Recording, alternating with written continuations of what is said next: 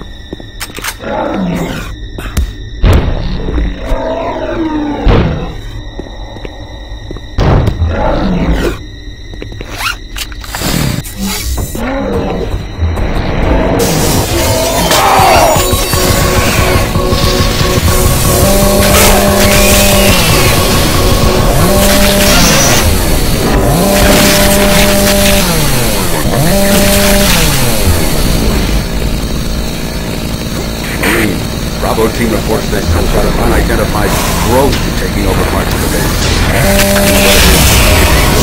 Stay sharp.